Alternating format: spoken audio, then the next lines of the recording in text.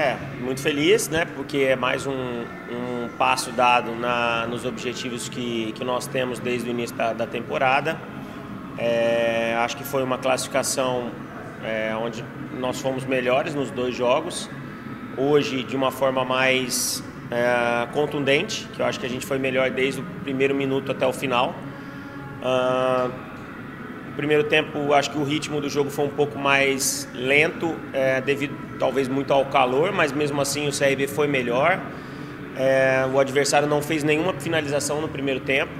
E no segundo tempo, talvez com a temperatura mais uh, agradável, o CRB apertou o passo, né, apertou o pé e conseguiu fazer mais vantagem dentro do jogo, onde nós também tivemos a oportunidade de preservar alguns jogadores, é, porque a gente teve uma está numa sequência muito pesada de jogos, mas a equipe vem respondendo muito bem é, a tudo isso e, e agora é continuar trabalhando. Vamos voltar o foco agora à Copa do Nordeste, que é uma competição que a gente não joga há, algum tempo.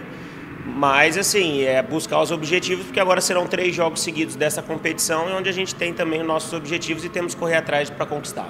Ô, Daniel, faça uma avaliação da competição até esse momento que chegou o CRB na final. Você está, inclusive, nesse projeto começando. Você teve aqui, mas pegou o bonde andando, né? Agora não, você começou o projeto.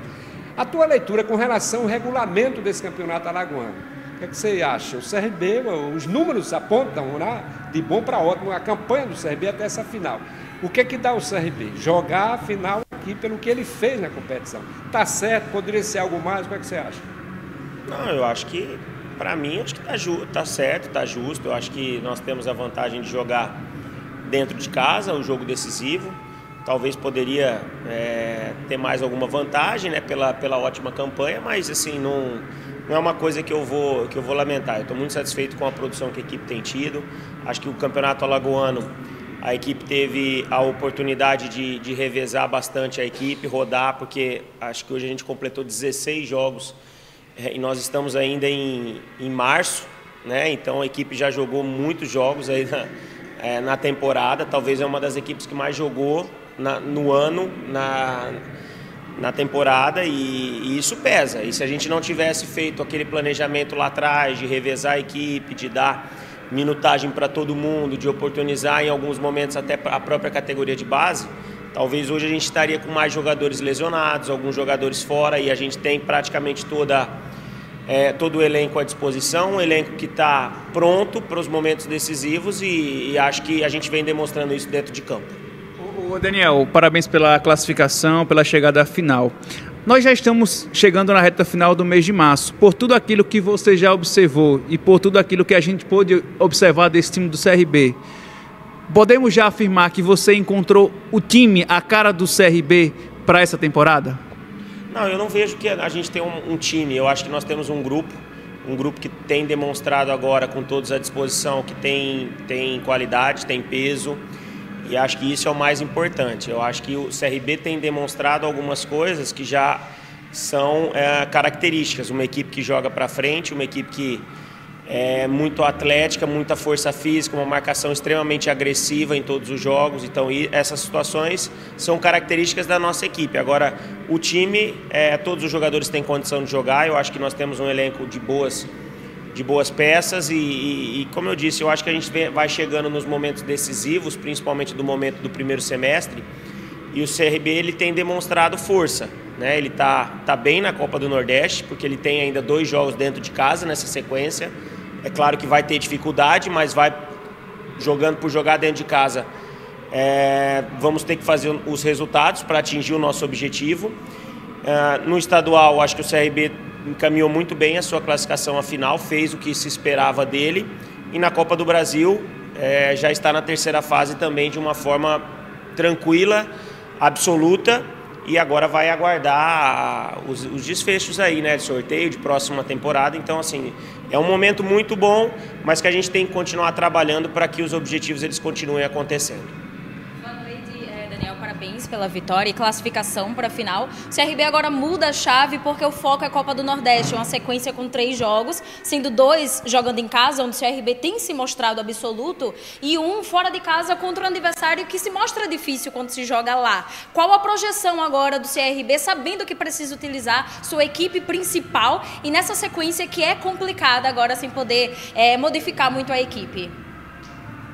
Acho que, como eu disse, eu acho que o momento da gente ter rodado a equipe nos deixa hoje com a tranquilidade e a convicção que a equipe está pronta no aspecto físico. É, a equipe tem demonstrado um, um, poder muito grande, acho que hoje sobrou fisicamente e, e isso não é.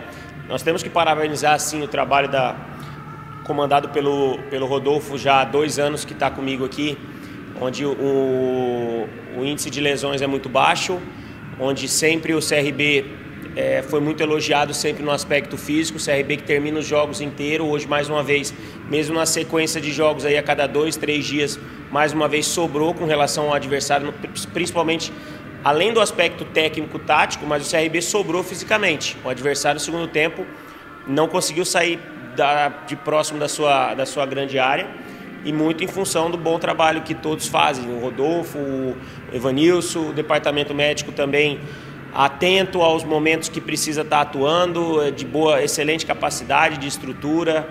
O CRB faz um trabalho e, e isso tem que ser parabenizado né, pela, pela presidência, pela diretoria, de, de dar toda a estrutura e, e às vezes uma estrutura de excelência para que o, o, a equipe esteja sempre no seu melhor. Né? Desde o jogo de Natal é, a equipe vem em viagem desgastante, ninguém lembra que a gente viajou quase 10 horas de ônibus para jogar dois dias depois e, e, jogou, aí depois jogou com 10, um segundo tempo inteiro em Murici, a equipe jogou e conquistou, e depois de dois dias jogou de novo pela Copa do Brasil e hoje jogou de novo e, e convenceu. Então, assim, são, são pontos que tem que ser reconhecido e enaltecido o trabalho que todos fazem aqui dentro para a melhor capacidade de todos classificação. Desde a sua volta já é quase um ano de trabalho, né? Você chegou em maio do ano passado. Mas com esse novo grupo, né, mantendo a base e também trazendo outros jogadores, são aproximadamente três meses. Queria que você falasse o quanto desse grupo já é a cara do Daniel, né? a cara da sua, da sua, da sua comissão técnica, quanto isso representa já daquilo que você tem trabalhado. Dá para falar em porcentagem, 50, 75, não sei, mas quanto já é a sua cara desse time? Eu, não sei te dizer é, porcentagem. Eu vejo que eu acho que hoje a equipe, independente de quem jogue, ele tem a cara do jogo que, que o Daniel Paulista costuma fazer, que é um jogo de intensidade, um jogo de marcação encaixada, de pressão no adversário o tempo todo ao portador da bola. É, é uma equipe que joga extremamente agressiva na parte ofensiva, ao tanto de oportunidades que a gente tem criado. É um ano onde o CRB também tem sofrido muito poucos gols e isso tem sido um ponto extremamente positivo porque não é só a defesa, mas todo mundo também tem contribuído para o momento defensivo. Então, assim, eu estou muito satisfeito porque é um grupo novo, apesar de se ter mantido alguns jogadores do ano passado, mas é muitos também chegaram e, e eu consigo enxergar que todos hoje conseguem visualizar a maneira como a gente pede, o que é trabalhado, e isso tem sido demonstrado dentro dos jogos. Você disse que precisa voltar à Copa do Nordeste, que está com um tempinho, né? Aí deu tempo nesse, dessa parada para analisar esse adversário, Juazeirense, quarta-feira, Daniel? Não, não deu tempo, né? Assim, eu particularmente não consegui, porque é, não dá tempo, entendeu? É um jogo atrás do outro mas o departamento de análise é outro departamento dentro do clube que é muito exigido, é muito e às vezes não aparece, às vezes não, não aparece, né, para a torcida, para a imprensa, mas é uma turma que trabalha aí, ó, é, a gente, e a gente fica no pé deles para que o mais rápido possível eles passem os relatórios. Com certeza hoje à noite eu já vou receber o relatório do da equipe da Juazeirense para que a gente possa teve uma troca de treinador lá agora, então assim é, é meio que parecido a situação do do Atletique. Quando se troca sempre o comando, é, é difícil saber o que vai vir, alguma novidade, alguma situação nova. Mas vamos nos preparar muito porque a Copa do Nordeste é um campeonato também importante para o clube, onde a gente tem que buscar os objetivos.